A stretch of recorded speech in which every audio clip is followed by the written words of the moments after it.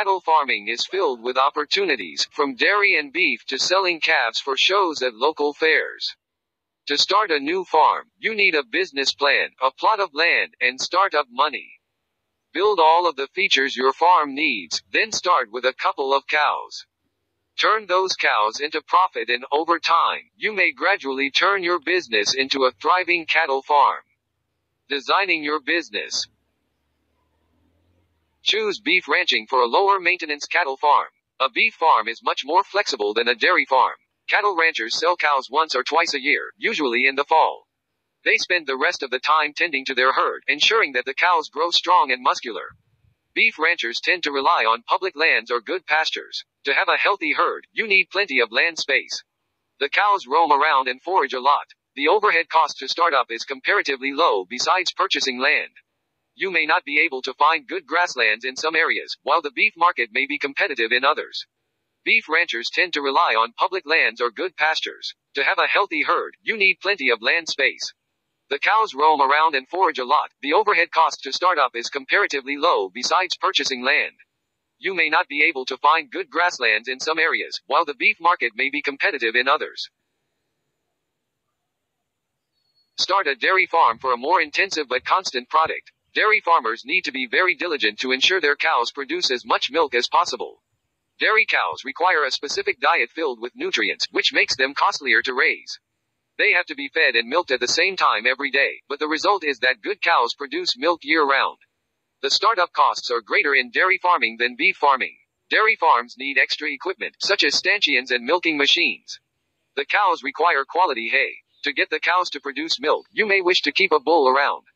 Bulls are a little trickier to handle safely. If you don't want bulls, use artificial insemination, then sell male calves for extra profit. The startup costs are greater in dairy farming than beef farming. Dairy farms need extra equipment, such as stanchions and milking machines. The cows require quality hay. To get the cows to produce milk, you may wish to keep a bull around. Bulls are a little trickier to handle safely. If you don't want bulls, use artificial insemination, then sell male calves for extra profit. Raise calves for a unique farm that may fill a local need. Calving farms are useful, but most farmers don't recognize the opportunity to sell calves. It is somewhat similar to dairy farming, except without the need for milking equipment. You raise the calves either as veal or sell them to other people, from other farmers to show clubs like 4-H. You need a separate calving barn and also have to consider keeping a bull or using artificial insemination. Calves are quick profit because you don't need to wait for them to grow up. Don't sell all of your calves, though. Keep a few for your farm. Start with a small farm and a handful of cows at first. Most farmers start off with 2 to 5 cows. They may not have the money or experience to handle more. Focus on getting a few healthy cows, then turning them into profit so you are able to afford more. Sell your products at a local level to get started. Keeping only a few cows means your land won't be overwhelmed. Cows take up a lot of space and may eat pastures to ruin if you aren't careful. If you have the money and experience, starting with a whole herd is possible, but be careful. Make sure you have barn and pasture space. Aim on having plenty of pasture space for your cows to roam.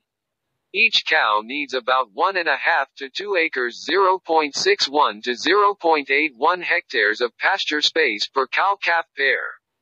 This amount of space provides enough roughage for a year. Most farmers are able to keep multiple cows on a single pasture if they're careful.